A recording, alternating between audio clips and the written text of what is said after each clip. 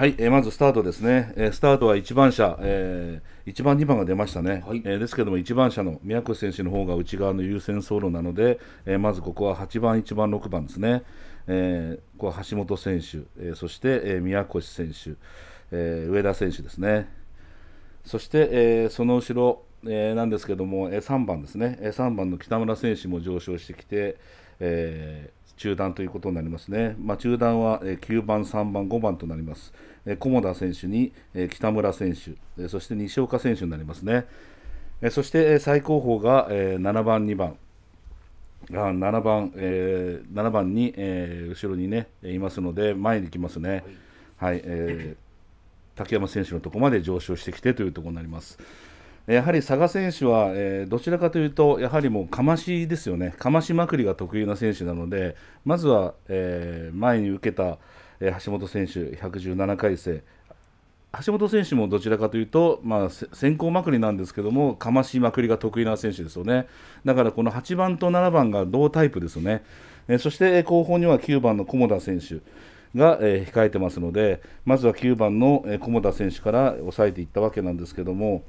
やっぱり500バンク、えー見てますと、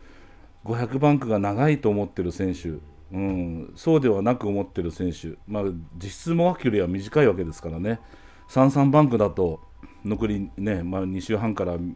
結構なスピードで誘導退避してもがいてますのでね、スピードが1回上がると落ちませんので、まあ、それに比べて500バンクはまだあと2周でね、もうこのぐらいのペースで、で打賞で後ろから抑えに行ってということなので、まあ、このレースは、えー後方から9番の菰田選手が1回抑えに行きます。えそして、え中段にいる、え佐賀選手は菰田選手ができたらそれを叩きに行けばいいわけなんですけどね、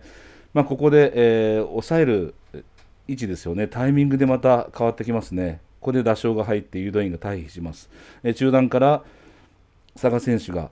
えー中段でここで重なった時ですよね、えー重なった時に橋本選手もプレッシャー圧かけますよね、ここもなかなか、えーいいレースしてると思います、このプレッシャー大事ですよね、押し出されるように、え佐賀選手が行ったところ、ここですよね、この巻き返しの速いのはやっぱり、うん、上位陣だと清水選手だったりね、うん、三谷選手だったり、やっぱり強くななっていく選手はみんな仕掛けが早いですよね、構えずに。あれ構えてしまうともう7番手なので、まあ、そんな甘くないのでね、うん、まあでも最終バックで勝負のところでね、えー佐賀選手も引く形になってしまったんですけども、9番がこれ、ちょっと戻してもらっていいですか、すみません。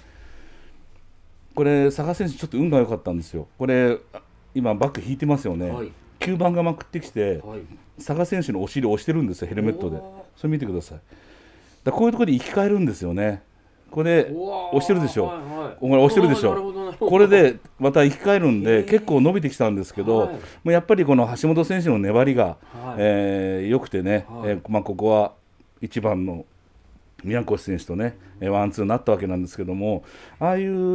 まあ、偶然的に押されると、はい。押されると伸びるので、えまあ、そういうところで自分の技術を後ろから押してもらえばいいんだとか、まあ、そういうシチュエーションに持っていったり、わざと、えうん、だからやっぱりそういうところで技術が磨かれるので、はい。まあ、今のはまさにその典型ですよね。ん。あれがゴール前に後ろから突っ込んできた選手に後ろ押されたりして、ビューンって伸びちゃう時があるんですよ。だからそういうのでね、あの一つ一つ技術をまたあこういうことも技も作れるのかっていうのがあるんですけど、はいでも今のレースは本当117回生の橋本選手の巻き返しの速さ、はい。まあ、これにつきますね。なるほど、はい。岡野さん、佐賀選手もはい。あそこでまあ合わせようとして、お尻上げてましたけど、はい。もうちょっと勢いが違っちゃってましたでしょうか？でそれは500バンクって思ってる佐賀選手とあそうでない、ー。ううん挑んでる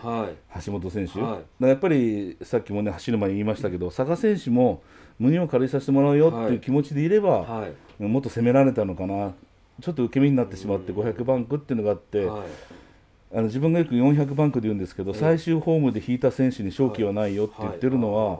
まあ、これは500バンクでは言えば、はい。最終バックで引いてる選手に勝機はないのと一緒で、なるほど。でもよく、まあ、巻き返したと思うんですけど、はいうん、ちょっと佐賀選手のうん。展開ミスかな。はい。うん。岡野さん、2コーナー過ぎに佐賀選手がもう橋本選手のラインに行かれちゃって、まあはいバックにかかるところ、はい。佐賀選手はあそこはもう下がっちゃいたいんですか？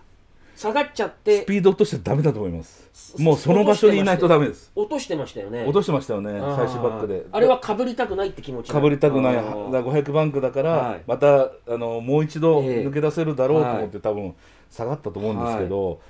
まあ500バンクそこがいいんですけどね本来は。い。下がってもまだワンチャンある。ら大宮だったらまだ違ったかもしれない。ああなるほど。あそこで大宮だったらいまあ2センターから踏めば、うんまた直線があるんで、はい。また伸びてるのかなとも思うんですけど、はい。まあやっぱりコーナーが大きいんで踏んでも踏んでも距離走らされちゃうんで、はい。進んでる感じがしないんですよ